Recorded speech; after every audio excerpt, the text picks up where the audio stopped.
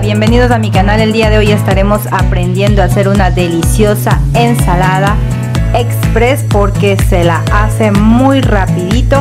Está muy deliciosa, así que bienvenidos. Bien, esta ensalada es súper facilita, rapidísima, solo tiene que cocerse un par de cosas y mezclamos todo. Así que para ello vamos a necesitar una taza de fideo, yo en este caso escogí el tirabuzón Ustedes pueden escoger el fideo que más les guste. Una taza de papita, ya la tengo picada. Una manzana, zanahoria, en este caso voy a usar dos pequeñas. Esto es para nuestra ensalada.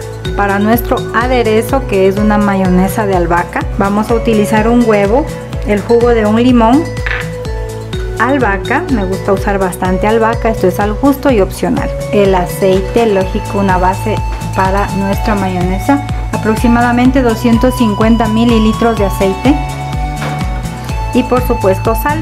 Lo primero que vamos a hacer es cocinar en agua por separado nuestro fideo. Vamos a agregarle sal. Aparte también cocinamos nuestras papas también con sal. Y también vamos a cocinar nuestras zanahorias. Estas yo no las cocino con sal, ¿sí? Me gusta sentir el dulzor de nuestra zanahoria, así que no es necesario que la cocinen con sal.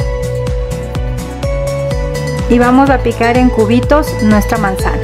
Así que empezamos.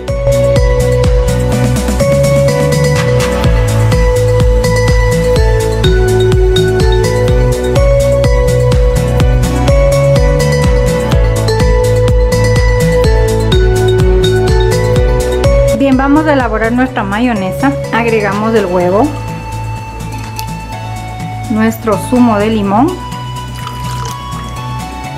nuestra albahaca,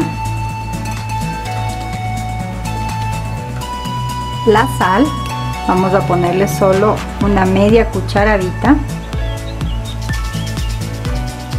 Vamos a tapar nuestra licuadora quitando eh, la tapa central, así que vamos a encender y mientras se licúa agregaremos el aceite en un chorro muy fino.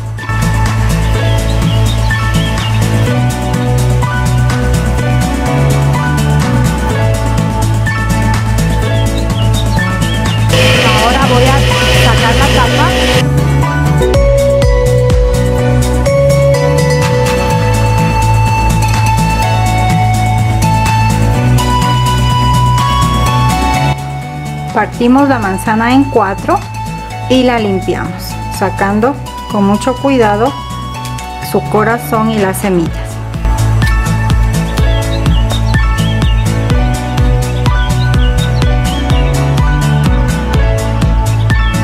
Así tenemos nuestra manzana y empezamos a montar nuestra ensalada.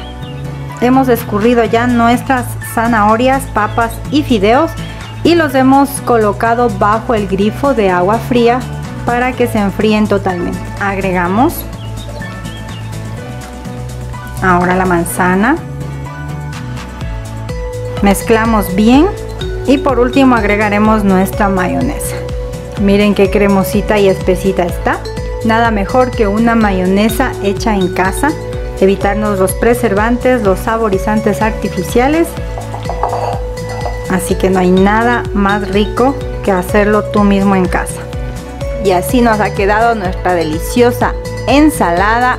Vamos a agregarle un cariñito de albahaca. Y está lista nuestra ensalada.